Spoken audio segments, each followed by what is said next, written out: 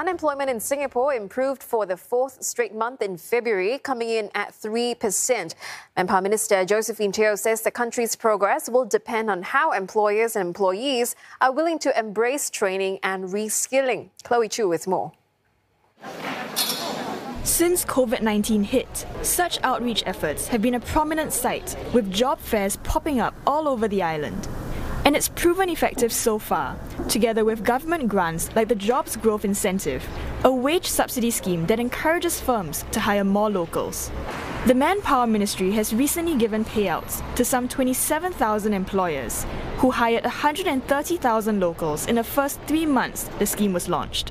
Citizen unemployment rate dropped to 4.3%, while resident unemployment, which refers to locals and permanent residents, also eased to 4.1%.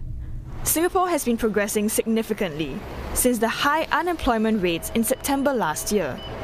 But Manpower Minister Josephine Teo cautions that with every improvement made, the next target will be harder to achieve.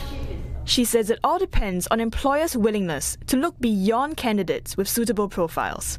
Job seekers, too, must invest time to reskill. Economists note the improved results, adding that they are in line with other indicators in the economy, like better retail sales figures. But there are still some challenges. There are uh, some labor intensive roles uh, that may be harder to fill with local workers, uh, such as food servers or construction workers, as well as cleaners. And foreign workers may be slow to return given that border restrictions still remain tight. Another factor is that uh, certain sectors may not need to bring their employment back to pre pandemic levels because uh, of the shift to digitalization. Experts add that overall employment is unlikely to return to 2019 levels, as unemployed workers will need some time to reskill and switch industries before they can return to the labour market.